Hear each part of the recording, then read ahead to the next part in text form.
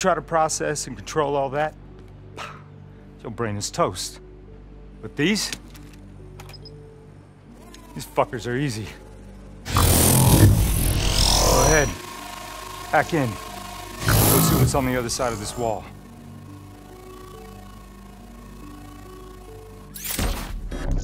Fits like a glove, right? Now somewhere through there is a generator. Take it out and that door should open.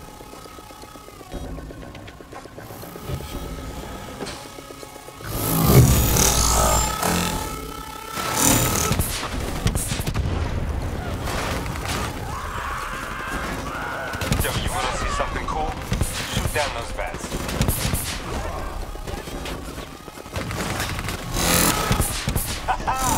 You're a maniac!